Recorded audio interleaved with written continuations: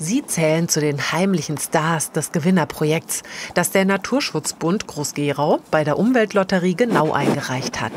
Die Galloway-Rinder sind nämlich wahre Landschaftspfleger und sie gehören Bettina Fey und Helko Fischer. Die Galloway-Rinder kommen ursprünglich aus dem schottischen Hochland und äh, sind halt unwahrscheinlich günstig für die Landschaftspflege, weil sie auch jedem Wetter halt standhalten und die fressen halt die Fläche frei, halten halt äh, den Bewuchs niedrig und ähm, Gebüsch fressen sie runter, damit die Fläche halt offen bleibt. Die Fläche muss offen bleiben, weil es um ein riesiges Naturschutzgebiet geht, das zu den größten Niedermoorgebieten Deutschlands zählt. Und der NABU, Kreisverband Groß-Gerau, möchte mit seiner Arbeitsgemeinschaft Bruchwiesen das Areal schützen. Das ist ein Niedermoor.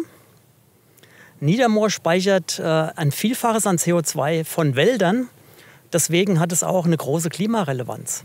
Also nicht nur deswegen setzen wir uns für, für den Schutz hier äh, dieses Gebietes ein. Es hat ja auch durch die äh, Beschaffenheit und auch durch das viele Wasser hier eine besondere Bedeutung für die Artenvielfalt. Zu der Artenvielfalt zählen zum Beispiel der Eisvogel, aber auch das Tümpfelsumpfhuhn, der Wasserläufer, das seltene Zwergsumpfhuhn, Wasserfrösche, die langschnäbelige Bekasine, aber auch seltene Pflanzen wie Orchideen. Außerdem suchen auch Kraniche die Bruchwiesen auf, um Rast zu machen, wenn sie Richtung Süden fliegen. Besonders stolz sind die Büttelborner auf einen weiteren Landschaftsarchitekten, der maßgeblich dazu beiträgt, dass sich hier das Wasser staut. Der Biber sorgt dafür, dass wir hier äh, wieder mehr Wasser in den Bruchwiesen haben. Ähm, das ist im Prinzip der Urzustand. Äh, es war schon immer hier im, im, im Ried, im hessischen Ried, in den Altneckarschlingen sehr viel Wasser in der Fläche. Und äh, durch die ganzen Gräben ist es abgeleitet worden. Wir brauchen aber Wasser in der Fläche, um einfach diese Artenvielfalt zu erhalten. Der NABU betreut und pflegt rund 50 Hektar Feuchtwiesen im Niedermoor des EU-Vogelschutzgebietes Hessische Altneckarschlingen. Und der Verein hat mit den 5000 Euro von der Umweltlotterie genau noch viel vor.